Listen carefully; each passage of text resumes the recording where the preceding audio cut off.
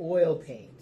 Um, the oil paint is unique in that it does not dry quickly. It takes a long time to dry. Um, so several days sometimes, depending on how thick you apply it. Um, so that can be nice if you are uh, blending tones and you're doing things like that where you need the paint to blend smoothly. Um, it is kind of a pain when it comes to managing it, so we need to be really careful about you know, where the paint goes, how we um, put the paint out on pallets, how we store the paintings, and all that stuff. Um, just because it, it, does stay wet, and so it um, can get you know into other places where you don't want it, onto other artwork or clothing or you know things like that. So we want to like really control um, how we use it. Um, I'd like everyone to work on a, a, piece of newsprint just to keep the mess down. So there's um, lots of cut up pieces of newsprint over here by the Um, you're going to be using the same palette paper. It's the wax paper. And the paint comes out of these tubes. Um, so instead of bottles, uh, we're using tubes now. And today we're just going to be using black and white to start with. All right, so when you squeeze out the colors, um, it's really important that you um, work the paint um, up from the bottom of the tube towards the top so that um, we get, you know, we don't waste paint. And also, uh, a lot of times people are tempted to twist the tube to get the paint out. Please don't do that. It um, causes the tubes to break. So you're going to squeeze from the bottom towards the top. And this paint's pretty thick comes out in almost like it's almost like a paste. It's like really really thick.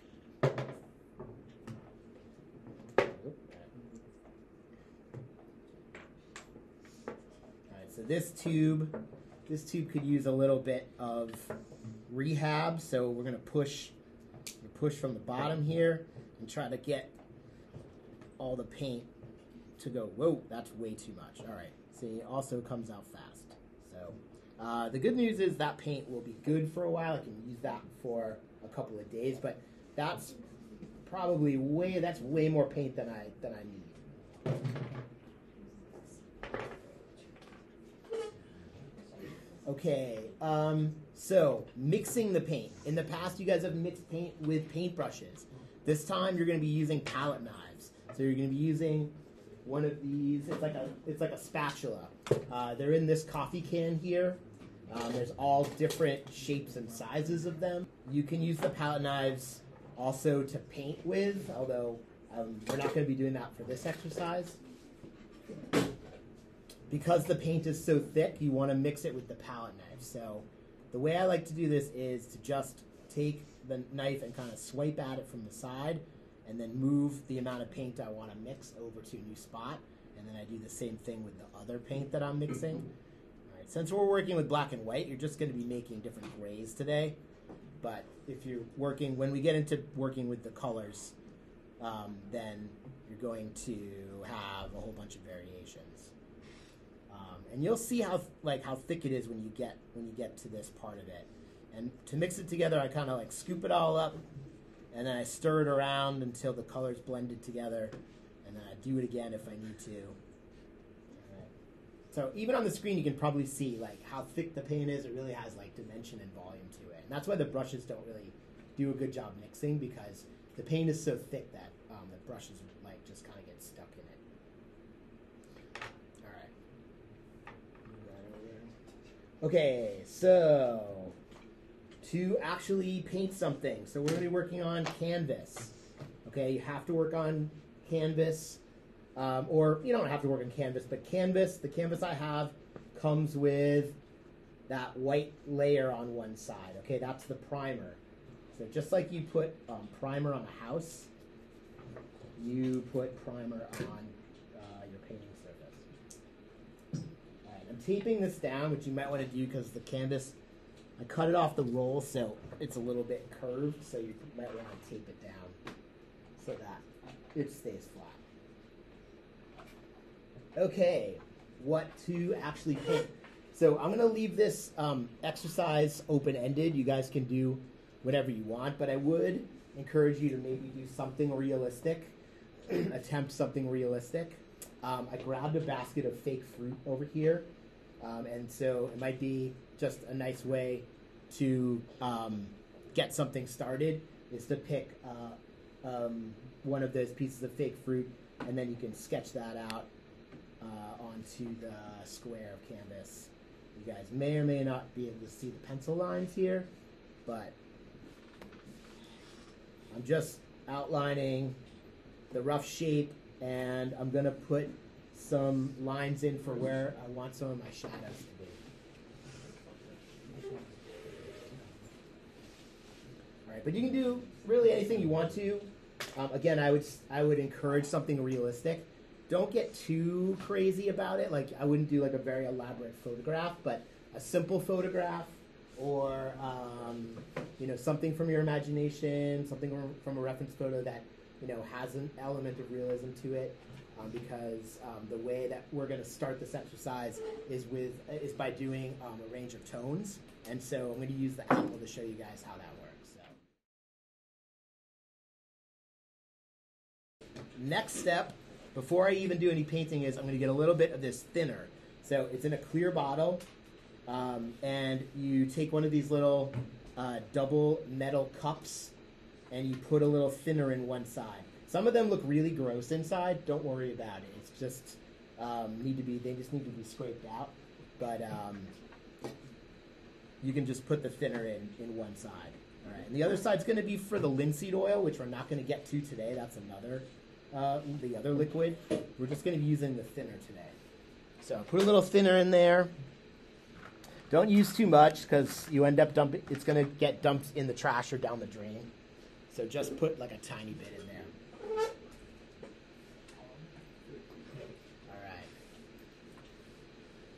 So now I'm going to start applying tones here. And so this is going to be a little bit similar to the um, photo project with acrylic, except you're going to see with the oil paint how easily you can blend colors together. So I'm going to start with the thinner. I'm going to dip my brush in the thinner, and I'm going to grab a little bit of this uh, gray that I made, and I'm just going to kind of stir it into the brush. And then I'm going to start painting the midtones of the apple. And I'm using a lot of thinner, and the reason why I'm using a lot of thinner is that this is the underpainting. The underpainting is like the first layer. We're going to do it in um, black and white and gray. And the other reason you use a lot of thinner on the first layer is that it helps it dry faster. The more paint thinner you add, the faster the paint will dry. Alright, I'm looking for all the middle tones, not the gray tones. I'm using gray. Apple is green. But I'm looking for all the middle tones that I want to capture. Alright, so that's a pretty good start there.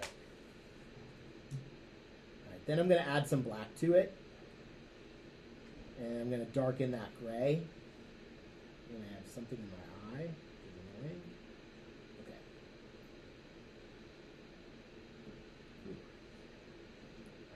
And so now this is where I think that oil paint becomes really fun because when you go to mix these two tones, they blend super, super easily. And if you can see the area I'm painting right now, the gray and the black are just blending together all on their own.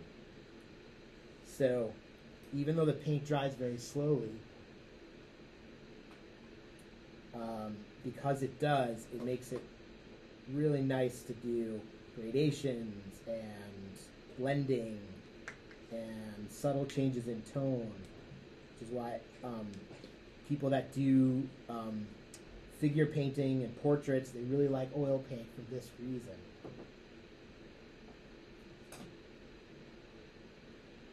All right, I'm working very quickly just for the sake of time, but you, know, you can obviously take your time here and go slowly. If you do need to clean a brush, soap and water will work fine, or you can swish it around in the little bit of thinner that you have in your cup. So that thinner will act also as a cleaner, and you can clean your brushes that way. So the thinner is not only a medium that you use to paint with, but it's also uh, can be a cleaner too. All right, right, so I'm going to do just one more part of this, and that is I'm going to do some highlights. So I'm going to do some of the lighter parts. So I'm going to add some white now, and I'm going to start to blend in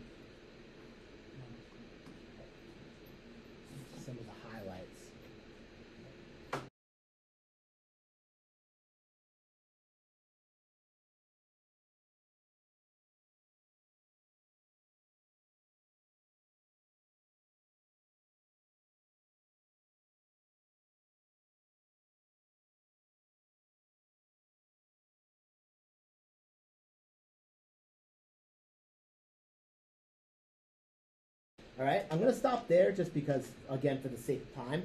But again, because the oil paint takes so long to dry, I can leave this for a few minutes and I can come back to it, and that color, those colors are still gonna be active and wet, and so I can continue to blend and smooth. So it's really nice in that way, unlike the other paints we've used where things are gonna dry and then you have to remix your colors. I can leave this stuff sitting here. I can actually leave this palette out all night, and these these colors will stay wet. This will dry overnight probably because I've used so much thinner. But between now and the end of class, I can definitely blend in more tones with it.